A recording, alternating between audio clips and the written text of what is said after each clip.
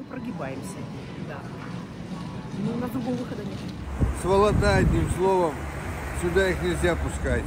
Были даже учебники, где наша вся территория, Приморский край, обозначена как временно Ну, что тут много говорить на статью можно, если продолжать. Извините. Да, вы думаете? Что ты чешешь? Какая операция военная? скажем так, пока за моим окном танки ездить не начнут китайские, я ничего говорить не буду. Вот у нас, по-видимому, э, спроса у людей на газ нет. Либо у меня газ, наверное, скорее нет из-за более опасного источника.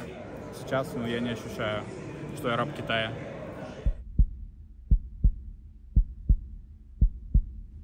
Что вы думаете про Китай? А что плохого про них могу сказать? Мы все туда ездим, отдыхаем.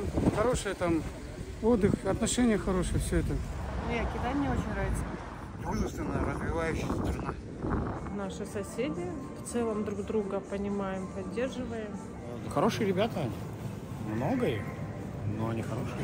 Очень нравится их культура, отношение к своей стране, отношение к семье. Хороший бизнес-партнер и весомый игрок на международном рынке. Раньше было прикольно ездить на шведский стол, покушать, шмоток, как говорится, затарить подешевле. Им только можно позавидовать. А в чем именно? А им, а нам, если честно, только поучиться у них всему. Экономика на высшем уровне. А наша экономика что? Хромает во всех позициях. От всего. Если честно сказать, что нас Китай обул, и одел, и накормил. Ну, если бы не Китай, мы вообще не знаю в наши 2000-е годы, как мы выживали. Мне кажется, что они заняли какую-то а, выжидательную позицию и думают, то ли им к умным, то ли к красивым. Ну, навряд ли они рванут э, к Америке, а, но они сейчас и не с Россией. Ну, в плане, что сейчас и происходит, надо выбрать светлую сторону или темную сторону. А китайцы это такие люди, глаз уже прищурен, им только винтовку дай. От них все что угодно можно ждать. Опасный сосед. А вот с виду прикидываются, что наши дружат с нами, а на самом деле что вытворяют? Заходят сюда, взять тот же Байкал, выкачивают наш Байкал, засирают прибрежные территории. Э, Куда их не запустят, они везде все выгребают до последнего, потому что это не их земля, им наплевать, они относятся к этому как пришли, как саранча. Все выжрали и ушли отсюда. Сволота, одним словом, сюда их нельзя пускать. А Китай может быть чем-то опасен для России? Я не знаю, я не политолог, как бы, ну, скажем так, пока за моим окном танки ездить не начнут китайские, то есть я ничего говорить не буду. Насколько мне известно, мы находимся в дружественных, ну, в дружественных отношениях, поэтому я не думаю, что может возникнуть какая-то проблема. Теоретически, да. А как именно, можете объяснить? У нас территории ихние, как бы. Вот здесь Приморье это китайские же территории. То есть, возможно, какая-то военная операция со стороны Китая, вы никакой думаете? не Что ты чешешь? Какая операция военная? Нет, нет, ничем. А почему? Потому что. А почему он должен угрожать? Ему делать нечего, что ли? Просто многие говорят, что Да Россия... многие неинтересно. Я говорю, я считаю, что нет. И то, знаете, китайцы, они еще очень хорошо помнят, как мы им помогли. Когда в 45 году в Карпине был парад нашей доблестной Красной Армии. Сколько мы всего освободили, вот это они знают хорошо. Японцев они не любят гораздо больше, чем кого-то другого. Честно, настолько живу в своем розовом мире, что не хочу об этом думать.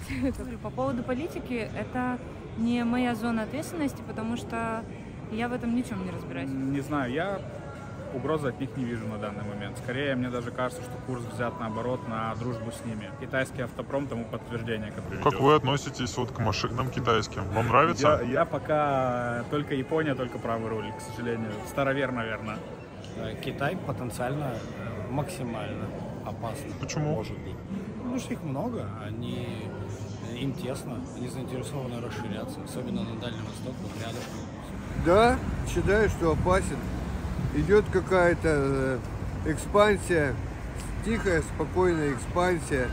С попустительства руководства нашей страны, заигрывание. Нам нужен такой друг, потому что все отвернулись, весь мир от нас отвернулся. Но не таким же образом, что мы им позволяем делать здесь все, что они хотят, выгребать, скупать наши земли, квартиры, дома. Нахер они тут нужны? Пожили, все, чуть-чуть и ушли отсюда. Контроль за их деятельностью нужно вести. Постоянно. Они тихо будут что-то, если делать без военных. Максимум это на Тайване они могут с военными. На нас Есть же конфликтная все равно ситуация. Вот, например, не знаю, как сейчас, а 20 лет назад у меня был знакомый, который был женат на китайке. Так вот у них был сын, и в школе у них были даже учебники, где наша вся территория, Приморский край, обозначена как временно Это как жители Владивостока волнует, беспокоит, пугает. В данном случае нет, пока то что все мирно. Но если так гипотетически говорить, ну ни в чем никогда нельзя быть уверенным до конца, вы же понимаете. У нас э, ресурсы, вот нефть, газ, Ну, вот древесина другой по заниженным ценам идет в Китай. Вас как-то беспокоит? Я не знаю, почему они идут. Кто говорит? Ниже рыночной цены идут. Да, я не знаю про это. Я не знаю, по какой цене они туда продаются, действительно ли это так, поэтому ну, не могу это как-то комментировать. Я не думаю, что мы прям совсем в убыток себе продаем наши же ресурсы. Ну, я надеюсь, это не сильно дешево, и я надеюсь, что это все как-то все равно переосмыслится. Может быть. Меня волнует, что все наши ресурсы уходят э, не только в Китай, а куда угодно. Оно нас 20 лет не волновало, 30 лет назад не волновало, это же все происходит. Еще нас не было на свете, и все это уходит в нужных направлениях. Поэтому надо об этом начать волноваться или... Ну и что волнение даст? Что волнение? Это было всегда. За копейки несчастные уже тоже древесину продаем, продаем, а потом какие-то вещи, которые они выпускали с нашего же дерева, мы приобретали за бешеные деньги. Поэтому, как вам сказать, мы не можем без Китая. Вот и весь ответ, понимаете? Ну, это обидно. Мы не очень умно, мне кажется, тут поступаем. Потому что отдаем, мне кажется, гораздо ценные вещи. Карты показывают э, с космоса, что прям целые участки тайги пустые, квадраты. Вас это расстраивает, печалит? Ну, конечно, экология все хуже и хуже. Ну вот смотрите, уже тигры заходят к людям в дом и жрут собак. Я считаю, что это связано с тем, что в первую очередь у них сузился ареал обитания. Мы рубим, рубим, рубим, рубим. Мы не сеем, мы не пашем, мы только вырубаем. И причем продаем это все в виде сырья, не в виде переработанных каких-то продуктов. Почему, например, мы продаем вот готовый ресурс в Китае и покупаем в них продукцию, сделанную на нашу древесину? Ну, большинство станков, насколько я слышал, производят в Германии, но, э, возможно, Китай э, научился сам делать себе станки, поэтому им проще с этим. Есть люди умные, как вот в Китае, только им путь к этому не дают. Вот он что-то соорудил, шаги, шаги вперед туда, бабки давай. Коррумпированы, получается, что ли, наши все или что? Ну, Было такое раньше. О. Сейчас я не могу по этому поводу сказать. Нужно также поднимать вопрос о возобновлении посадки лесов. А как думаете, почему мы этого не делаем? Вот потому что приоритеты другие или что? Да, я думаю, что на данный момент в экономике другие приоритеты. На природу, на леса можно пока забить. Ну, забить, конечно, нельзя, и так сказать нельзя, что прям забивает. Наверное, По-любому какие-то программы уже проводятся. Даже где идет трубопровод газа в Китай, у нас в этой местности, откуда идет газопровод в России, нет газификации. Я слышала об этом, но опять же, я не вникаю, потому что такие темы для меня сложноваты. Вы думаете, что русский газ уходит в Китай, а в России его нет, газификации нету? Да, печально это. Что могут делать? Печально. А что остается делать? Выгоду не, не мы это решаем, мы вообще ничего не решаем. Если есть спрос, ее продают. Вот у нас, по-видимому, э, спроса у людей на газ нет. Если бы они хотели делать себе печи, закупать его, и с ним что-то делать, ну, как бы Россия на внутренний рынок бы продавала больше газа. Но мы же не знаем, почему нельзя поменять. Почему Я не нельзя газифицировать про Я- это? я не знаю, Почему проще отдавать газ, а не отдавать Может э, быть, своему в моменте населению? это выгодно. В моменте выгодно поступить вот так. Да, не хотелось бы, это э, меньшее из зол. Знаешь, Насколько знаю, она, наверное, дальше Урала или дальше Сибири вообще особо не проводится. В чем причина, я не знаю. Такая казуистика и парадокс нашей жизни. Что думаете по этому поводу? Это не Люди очень приятно. Я думаю, это проблема нашей внутренней. Ну, Властям почему-то это невыгодно. Что остается нам делать простым людям? Выживать, как всегда. Ну вы хотели бы газ, чтобы был проведен у вас дома, чтобы было не электричество, а газ? Хотел. А это все вот газ уходит в Китай. Я не могу здесь прокомментировать. Привыкла к тому, что имеется, и был ли бы у меня газ, наверное, скорее нет, из-за более опасного источника.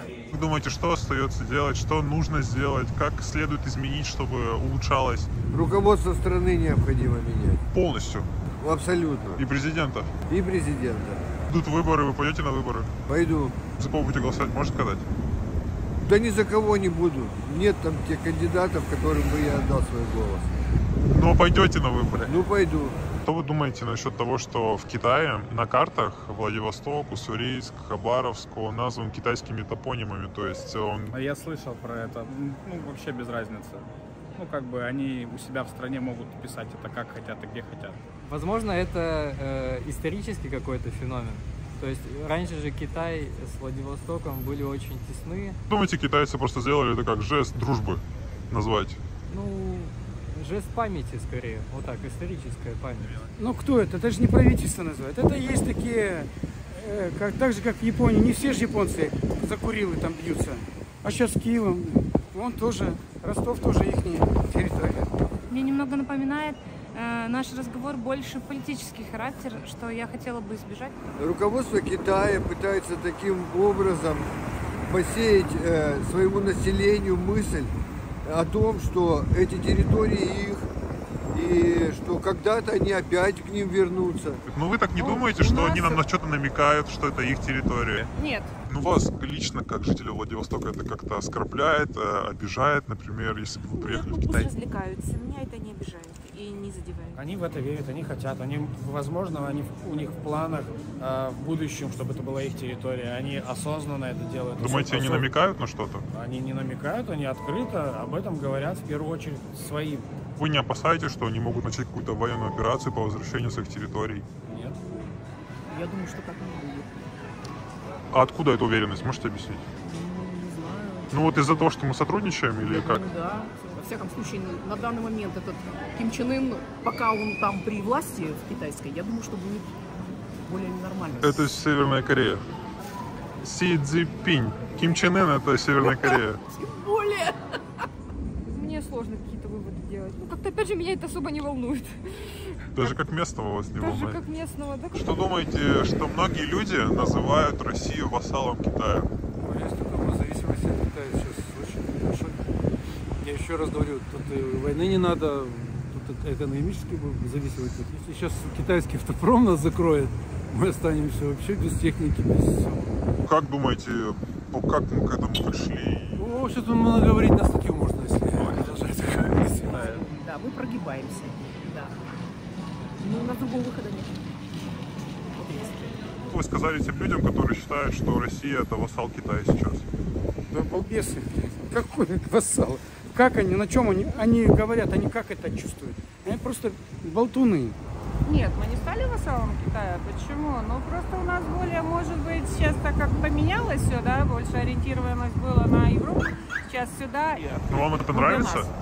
Внедрение китайской продукции, например, автомобильный рынок у нас полностью сейчас практически состоит из А китайских если, машин. Ну, были японские, стали китайские. Вот мне все равно, если честно.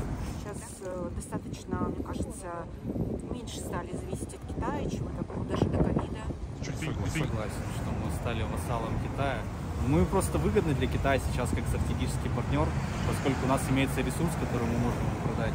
Они этим пользуются активно. Нам предоставляют те же самые автомобили, э, те же самые электронику, технику. Вам нравятся эти авто? Может, как-то видели, пользовались, это знаете? Не пользовался, не видел, слышал отзывы разнообразные. Кому-то нравится, кому-то не нравится.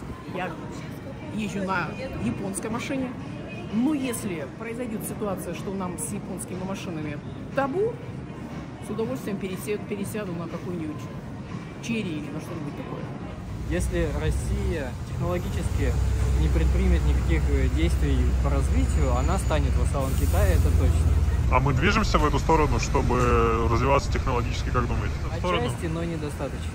Ну, наверное, вассалом Китаем мы не являемся. А вот то, что мы заигрываем с Китаем, у нас идет дружба не, неравноценная. Мы даем больше, а забираем меньше. Мы им по дешевке газ, а в ответ мы что получаем? Заверение э, в дружбе и сотрудничестве причем и в военной области. По факту китайцы так не, не придерживаются и не готовы помочь, если что, или как? И что, мы для этого должны снять последние трусы и отдать им, что ли? Некоторые прям радикальные, даже кто настроен вот какой-то связи с китайцами, они говорят, что это чуть ли не колония России теперь Китая. Я не знаю, как это комментировать. Ну, я так не чувствую. Ну, у меня нет такого ощущения, что конкретно я, работая там, да, где-то на работе и так далее, работаю на условного Чунжуня из Китая, да, то есть Чунжуню спасибо за счастливое детство, как говорится, дешевые телефоны, mp3-плееры за 100 рублей. Сейчас, ну, я не ощущаю, что я раб Китая. А вас как-то заботит возможный конфликт между Тайванем и Китаем? Абсолютно никак. И говорят, что Третья мировая может начаться, потому что Тайвань поддерживает США. Да, почему она тогда не начнется из-за войны Израиля с Палестиной, России с Украиной? Ну, надо бы хотя бы сейчас отстоять свою землю, которая наша, она не наша, я даже не знаю, как сейчас правильно выражаться. Я имею в виду Украина. У меня зять погиб. А каким путем? Каким бы хотелось? Итогом, чтобы закончилось это? Ну, только переговоры, больше никак. А переговоры на каких условиях? Во всяком случае, хотя бы ну, давайте поделить про... эту Украину чуть-чуть им, чуть-чуть нам. Не, ну украинцы, насколько я знаю, у них условия, то чтобы все территории, включая Крым, вернули и войска вывели. А вы как думаете? На любых на... условиях бы согласна была, что только меньше. И Крым вернули? Нет, нет, нет, нет, нет, нет. Нет. Хотя в Крыму я не была, кстати, никогда. Свою землю как не отдать. Не отдать, ни в коем случае. Многие говорят, что это опасение прям глобальной войны Третьей мировой. Это, знаешь, есть плоскоземельщики, есть э, там плоская земля, есть круглая земля. Я знаешь, к чему пришел? Вот я взлечу, посмотрю, увижу, что она круглая. Я скажу, что она круглая. Земля плоская или круглая? Как считаете? Э, я не знаю. Понял. А откуда у вас эта информация, можете сказать? Ну, пользуйтесь мессенджерами, пользуйтесь интернетом. Вот. Причем не только э, теми каналами, которые государственные, но и независимыми, а еще лучше оппозиционными. Thanks for watching. If you liked the video, put a like and write in the comments on what topic we should make the next survey.